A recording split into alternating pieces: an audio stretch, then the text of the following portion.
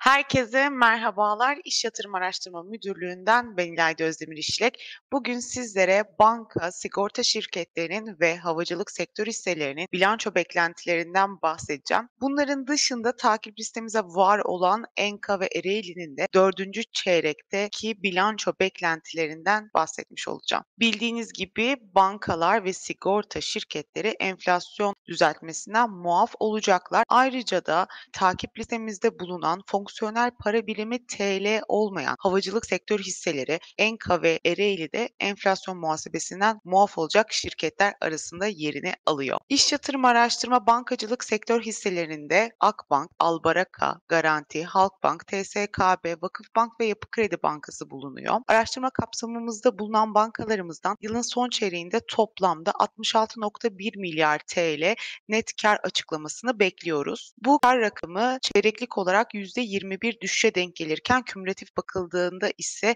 yıllık olarak %18 artışa işaret ediyor. Yaşanan faiz artışlarının fonlama maliyetleri ve marjlar üzerindeki baskısı hissedilmeye devam ediyor.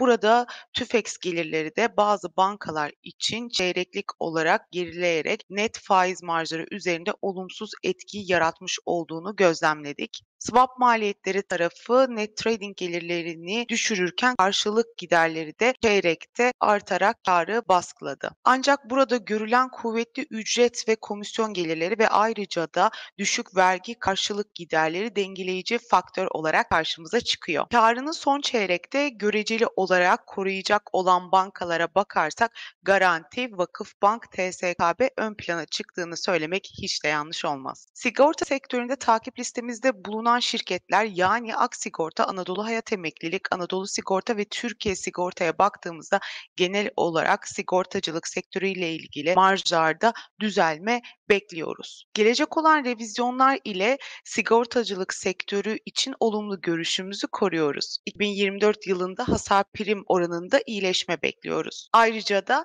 2023 yılının dördüncü çeyreği için Aksigorta'yı öne çıkarırken 2024 yılının ilk çeyreğinde Türkiye Sigorta'nın öne çıkmasını bekliyoruz. Hava yolları sektöründe takip listemize bulunan şirketlerden de bahsetmek istersek, yolcu birim gelirlerindeki pandemi sonrası yaşanan normalleşmenin hava yolu şirketlerinin marjlarını yıllık bazda aşağı çekmesini bekliyoruz. Burada muhasebe değişikliğinin neden olacağı ertelenmiş vergi gelirleri kaleminin de havacılık sektörünün net kar rakamına olumlu katkıda bulunmasını bekliyoruz. Videomuzu sonlandırmadan önce fonksiyonel para birimi TL olmayan Enka ve Ereğli'nin dördüncü çeyrek bilanço beklentilerinden de kısaca bahsetmek isterim. Enka'nın operasyonel performansının TL'nin yıllık bazda değer kaybetmesi ve gayrimenkul ile ticaret segmentinin güçlü katkısı ile desteklenmesini bekliyoruz. Ancak geçen yıl yüksek bazına kıyasla inşaat marjlarındaki normalleşme ve enerji segmentindeki zayıf performansın devam etmesini bekliyoruz.